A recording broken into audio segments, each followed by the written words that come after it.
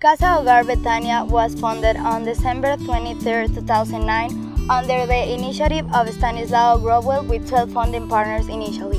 The main domicile of this organization is in La Chacra neighborhood, Zamora Parish, province of Zamora Chinchipe, and it is one of the non-profit organizations existing in the city itself, which has specific goals and objectives detailed in the company's respective statutes and legalized through Ministerial Agreement number 00017-2009 and whose main objective is to host the most needy, especially elderly people, and provide support and help to people with disabilities and more vulnerable groups.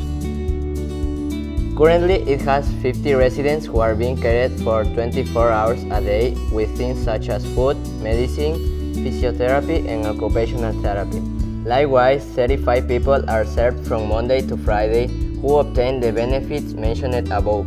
as well as courses of ceramics, painting, weaving, dance, and periodic walks. As it is a non-profit organization, funding is sought exclusively to cover items that directly benefit users. Thanks to God and the authorities of our canton, province, and a significant economic and technical collaboration of MIES through the respective agreements, this organization can cope with any problem that arises. As in any non-profit organization, one of the benefits is the satisfaction of helping others, and from this arises the desire of all the partners to grow Casa Hogar Betania as an organization and improve the services in order to provide better assistance that covers all the people we need.